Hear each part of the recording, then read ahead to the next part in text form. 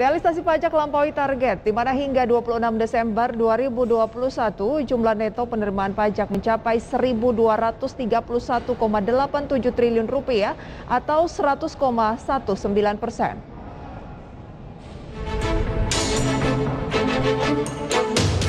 Direktorat Jenderal Pajak atau DJP Kementerian Keuangan menyatakan bahwa penerimaan negara dari sektor pajak telah melampaui target yang ditetapkan. Hingga 26 Desember 2021, jumlah neto penerimaan pajak mencapai 1.231,87 triliun rupiah. Jumlah tersebut sama dengan 100,19 persen dari target yang diamanatkan dalam APBN tahun anggaran 2021 sebesar 1.229,6 triliun rupiah. Menteri Keuangan Sri Mulyani Indrawati mengapresiasi seluruh pihak khususnya kepada masyarakat dan juga petugas pajak yang telah bekerja keras mengkoleksi pajak. Di tengah situasi pandemi seperti saat ini, pencapaian target pajak menjadi catatan sejarah sekaligus menjadi momentum pemulihan ekonomi nasional agar tetap berlanjut.